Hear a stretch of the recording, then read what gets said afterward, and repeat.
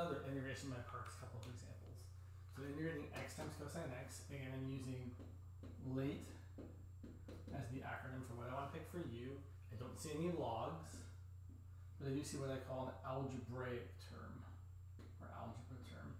I have, which is just the power of x. I have x to the first. Um, so I'm going to pick u equal to x. And the other way to remember how to pick u and dv is that dv should be the most complicated thing that's still relatively straightforward to anti-differentiate.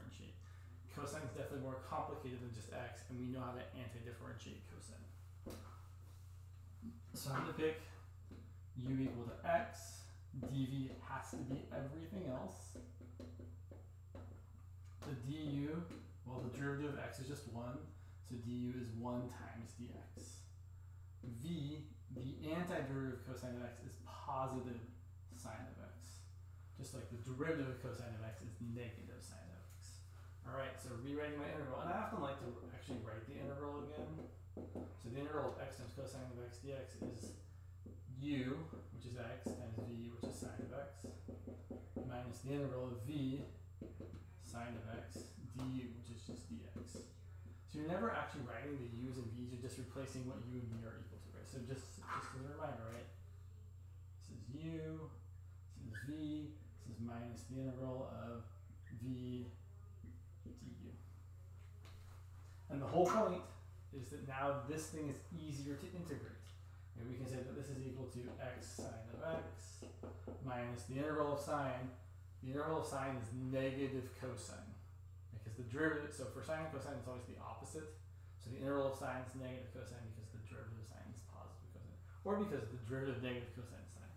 So you get minus minus cosine of x. And we should definitely rewrite this as x sine of x plus cosine of x plus c. If you really wanted to, you could check this is right by taking the derivative. The derivative of x sine of x plus cosine of x. I'm not going to write the plus c because we know the plus c, the derivative is 0. Here I'm using the product rule. I'm using 1 times sine of x plus x times the derivative of sine is cosine of x. And then plus the derivative of cosine is negative sine. Look, the sine here and the negative sine there cancel out and you get x cosine x, which is exactly what we were anti-differentiating. All right, similar but slightly different example over here. x times cosine of 4x. So when I do this, I'm still going to pick u equal to x, and dv now has to be everything else, which is cosine of 4x. du is still 1 times dx, or just dx, and v, so this is where you should, where you would maybe have to use a u sub, but I don't want you to have to use sub. So the whole thing here is that, right, since the derivative of some of cosine of 4x, the chain will make you multiply by 4, the antiderivative has to make you divide by 4. And my antiderivative here is either, you can say it's sine of 4x all over 4, or you might prefer to say it's 1 fourth times sine of 4x. I kind of like writing it the first way. But the whole reason here is because if you take the derivative of this, the derivative of 1 fourth times sine of 4x, right? If you take the dv dx, oh, I forgot my dx here, sorry. It's equal to 1 fourth times the derivative of sine of some stuff is cosine of the stuff times the derivative of 4x, which is 4. And that 4 cancels with that 4. And so your dv dx is exactly cosine of 4x. I want you to be able to anti-differentiate cosine of 4x without having to write out the whole u substitution. You could write the u sub, it's a pain in the butt. Right? If I did that, you could say, oh, well, so to find v, I'm going to integrate dv, which means I'm going to integrate cosine of 4x. I would do a u sub at like u equal 4x. du would be 4 dx, 1 fourth d, right? This is so much work. And then I would write this as the integral of cosine of u times 1 fourth du, putting the 1 fourth out in front. And then I integrate that and get 1 fourth sine of u plus c, which would be 1 fourth sine. Wow, that's a lot of work. But you do see that we get the same result, right? The integral of cosine of 4x is sine of 4x divided by 4.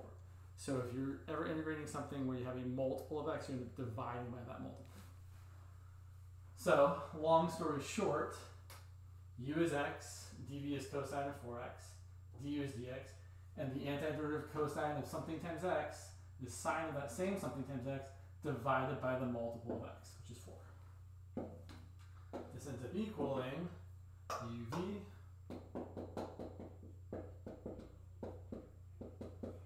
minus the integral of v du, which is 1 fourth sine 4x dx.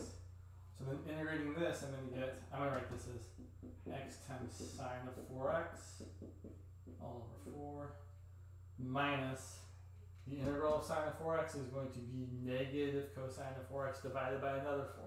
So I have minus 1 fourth, and the integral of this is negative cosine of 4x all over 4. Again, the derivative of negative cosine of 4x all over 4 is positive sine of 4x times 4, and the times 4 divides the 4 there. So we're just kind of undoing the chain rule in a very small way. And then finally I would simplify and get x sine of 4x all over 4 plus cosine of 4x all over 16 plus c. I don't think it's necessary to the common denominator here and write it as like 4x sine of 4x plus cosine of 4x all over 16, but you could if you want.